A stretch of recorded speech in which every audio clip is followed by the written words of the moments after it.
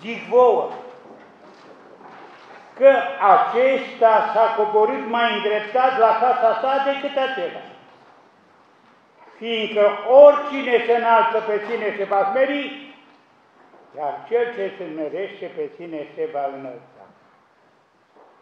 Din Sfânta Evanghelie a Duminicii de astăzi de la Luca, capitolul 18, versetul 14.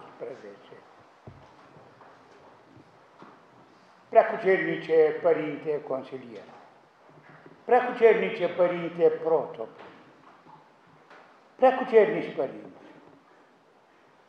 Domnule Prefect, Doamna Vicepreședinte al Consiliului Județean, Domnule Primar, onorate oficialități și iubiți frați și surori. În această duminică minunată, când avem bucuria de a fi din nou împreună. Cuvântul meu de învățătură îl intitulez așa. Perioada triodului, perioada pocăinței. Astăzi, la strana bisericii s-a deschis o carte mare, numită Triod, perioadă care ține 10 săptămâni de astăzi până în ziua Paștelor. Și triodul este cartea pocăinței, pentru că perioada ce urmează este perioada pocăinței. Și în sensul acesta, și Evanghelia ce s-a citit ne îndeamnă la o pocăință sinceră, la o îndreptare a vieții. Foarte multă lume nu înțelege exact înțelesul cuvintelor, cuvântului pocăință. Pentru mulți, a te pocăi înseamnă să îmbrățișezi o confesiune neoprotestantă. Nici pe departe. Pocăința e un lucru mare și se face în biserică. Și Sfântul Ioan Damaschinu definește pocăința. Zice Sfântul Ioan Damaschinul așa, pocăința este întoarcerea cu părere de rău și cu lacrimi, de la păcat la virtute și de la diavolul la Dumnezeu.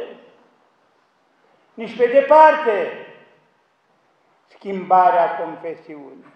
Pocăința este întoarcerea cu părere de rău de la păcat la virtute și de la diavolul la Dumnezeu. Așa că această perioadă de 10 săptămâni de astăzi până în ziua Paștelor, ne pune în față biserica ca și o perioadă în care să ne pocăim, să ne îndreptăm, să ne facem buni. Și în sensul acesta, în săptămânile ce urmează, în fiecare duminică, în fiecare duminică se citește câte o Evanghelie grăitoare în sensul acesta de a face o pocăință bună. Nu numai Evanghelia, ci și cântările de la strană ne îndeamnă la pocăință sinceră. Pentru că în aceste 10 săptămâni, duminica la biserică, dimineața, să cânt o cântare. Vă citesc. Nu o să o rețineți pe din afară, dar sensul ei o să-l rețin ușile pocăinței. Deschide mie dătătorule de viață, că mânecă Duhul meu la biserica ta cea sfântă, purtând locaș al trupului cu totul întinat, ci ca un îndurat. Curățește-l cu mila milostivirii tale. precum Evanghelia de astăzi. Și această cântare ce se repetă până la Paști, ne îndeamnă la o pocăință sinceră, la o îndreptare a vieții, să ne facem mai buni, să ne facem mai buni. Și pocăința noastră întotdeauna presupune și o bună spovedanie. Niciun creștin nu trebuie să rămână în postul mare nespovedit. Pocăința presupune o părere de rău pentru păcate. Acum, Evanghelia ce s-a citit e simplă, dar profundă. Vameșul și fariseul. Fariseul făcea parte din tacma care se socotea foarte corectă a iudeilor. Zicea el, așa cum l-ați auzit, postesc de două ori pe săptămână, dau zeciuială din toate câte am. Și nu sunt așa ca prăpăditul acesta de vame ce stă lângă mine. Păcătos, bietul vameș, nici nu cuteza să ridice ochii în sus și își bătea pieptul și zicea, Dumnezeule, milostiv fi mie păcătosului. Vameșii erau funcționare Imperiului Roman și îi disprețuiau ceilalți evrei. Dar ne zice Domnul Hristos că Vameșul s-a întors la casa lui mai îndreptat decât fariseul. Și-a recunoscut păcătoșenia sa, neputința sa. Și s-a îndreptat, a încercat să se îndrepte de la rău la bine, de la păcat la virtute și s-a întors folosit la casa lui. Acum Sfântul Ioan Gură de Aur meditând la această Evanghelie ce s-a citit astăzi, ne dă un mod foarte plastic de a ne gândi la ea. Și zice el că două căruțe merg pe drum. La una este înhămată dreptatea și mândria. La cealaltă, păcatul și smerenia. Și zice Sfântul Ioan Gordeaur, căruța la care este înhămat păcatul și smerenia va ajunge în capătul drumului. Dar cealaltă la care este înhămată dreptatea și mândria nu va ajunge la capătul drumului. Păcatul și smerenia care în perioada aceasta, cu ajutorul lui Dumnezeu, încercăm să le tămăduim, ne ajută să ajungem în capătul drumului. Capătul drumului este ziua Paștelor în care ar trebui să fim mult mai buni după o perioadă în care ne-am pus problemele spirituale serios, foarte serios. În acest sens, mulți s-au pronunțat. Ernest Bernea, omul acesta cult, care a stat și în temniță pentru convingerile lui a scris o carte foarte bună, în care sunt adunate la oaltă mai multe meditații. Și atunci când vorbește de smerenie și de mândrie, scrie următoarea frază. Cartea se cheamă îndemn la simplitate. O și pun la suflet. Dacă o găsiți să vă procurați. Deci în cartea lui îndemn la simplitate, Ernest Bernea zice așa, mândria este o atrofiere a măsurii și bunului simț. este sentimentul prețuirii fără limite a ființei noastre. De aceea fiecare ins în parte se simte deținătorul adevărului și se crede centrul lumii. Individul a ajuns un univers închis. Omul trufaș, necunoscând alt adevăr decât pe sine, n-a putut cunoaște nici mila, nici dragostea. Nu l-a cunoscut nici pe Dumnezeu. Și altfel este omul smerit, omul care este reprezentat în Evanghelia de astăzi de către Vameș. Dumnezeule, milostivi mie păcătosului. Acum am zis că în această perioadă de 10 săptămâni sunt mai multe evanghelii care ne îndeamnă să facem o pocăință bună, să facem o spovădanie bună, să ne punem serios problema mântuirii, să devenim mai buni, mult, mult mai buni. Referitor la faptul că trebuie să ne zmerim și să ne vedem neputința noastră, să ne vedem neajunsurile noastre, exemplu absolut este Domnul Isus Hristos. În epistola către Filipeni, în capitolul 2, Sfântul Pavel, începând cu versetul 5, ne îndeamnă.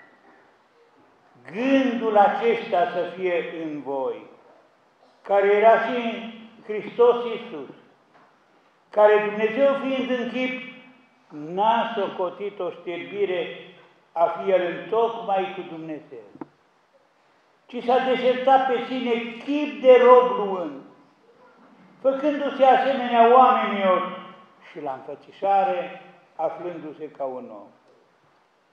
S-a smerit pe sine ascultător, făcându-se până la moarte și încă moarte pe cruce. Pentru aceea și Dumnezeu l-a preanălțat și a dat lui nume care este mai presus de orice nume. Ca în numele lui Isus tot genunchiul să se plece al celor cerești, a celor pământești și a celor de desubt. Exemplu absolut este Domnul Isus Hristos. Dar perioada aceasta a triodului, perioada pocăinței, ne punem față și alte exemple de oameni care au reușit să se îndrepte pe calea cea bună. Ne-l punem față și pe Sfântul Ioan Scăraru, care ne-a lăsat o carte întreagă denumită Scara Raiului. Și acolo dă exemple de oameni care au făcut o pocăință bună. Unul din exemplele lui este cea cu tâlharul pocăit. Un tâlhar notoriu din preasma mănăstirii Sinai s-a dus la Sfântul Ioan Scărarul și a cerut să-l călugărească. Și Sfântul Ioan i-a pus o condiție, da, te călugăresc cu o singură condiție. În general, oamenii se spovedesc în taină, încet. Tu să te spovedești cu voce tare așa în mijlocul bisericii și să spui toate păcatele tale. Și atât de mult a dorit ca să schimbă viața încât a acceptat. Și unul dintre părinții îmbunătățiți l-a văzut pe înger cum are în mână o coală mare de tot. Și pe măsură ce tâlharul își povedea un păcat, îngerul îl radia de pe coală. Rămâne paradigmatică această întâmplare pe care ne-a lăsat-o Sfântul Ioan Cărarul în Filocalia numărul 9. Și apoi, tot în perioada aceasta a triodului, ne întâlnim și cu Maria Egipteanca, o tânără păcătoasă din Alexandria Egiptului, care la un moment dat s-a venit în sine. 17 ani a petrecut în păcate. După 17 ani, la un moment dat, când s-a apropiat ziua crucii, a văzut o corabie pregătită ca să meargă în pelerinaj la Ierusalim. Și a dorit să se ducă și ea. S-a dus, a sosit acolo și n-a putut intra în Biserica Sfântului Mormânt. O putere o ținea afară. Și-a dat seama de ce. Și-a văzut pe perete icoana Maicii Domnului și a zis, Maica Domnului, permitem și mie să intru în biserică, că alta va fi viața mea de aici înainte. Și apoi a putut intra în biserică, s-a închinat la crucea Domnului Isus Hristos, pe jos a plecat din Ierusalim până la Iordan, s-a spovedit, s-a împărtășit, a trecut Iordanul cu trei pâini și jumătate și pentru cei 17 ani de păcătoșenie a petrecut în pustie 47 de ani. Iar atunci când a întâlnit-o duhovnicul Tosima, când se ruga lui Dumnezeu să ridica un cot de la pământ, ca dovadă ce lucrare mare poate face pocăința cu un păcătos. Am zis că astăzi începe perioada triodului, perioada pocăinței, care și pe noi păcătoși ne îndeamnă să ne facem buni, să ne facem buni, să ne întoarcem la Dumnezeu de la păcatele noastre. Acum, nu mă voi opri la fiecare duminică, pentru că rând pe rând la biserică dumneavoastră vă auzi Evanghelia ce se va citi. Atât doar vă spun că toate Evangheliile ne îndeamnă să ne întoarcem de la păcat la virtute și de la diavolul la Dumnezeu. Și lucrul acesta îl începem astăzi, când îl vedem pe Vameș îndreptându-se și pe fariseu lăudându-se și afundându-se mai rău. Iubiți frați și surori, gândul acesta scurt am vrut să vi-l pun la suflet acum când începem perioada triodului și când dorim efectiv să ne facem mai buni. Trei săptămâni din punct de vedere alimentar sunt obișnuite, iar apoi urmează cele șapte care efectiv sunt săptămâni de post. Dar în toată această perioadă suntem îndemnați să ne întoarcem de la păcat la virtute și de la diavolul la Dumnezeu. Și încă o dată, și cu asta și închei. Vă citesc această cântare frumoasă, care se repetă în toată duminica până la Paște. Ușile pocăinței.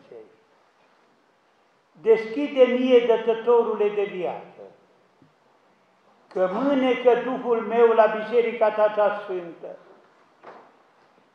purtând lăcașa al trupului cu totul întinat, ci ca un îndurat, curățește-l cu mila milostivirii tale. Amin.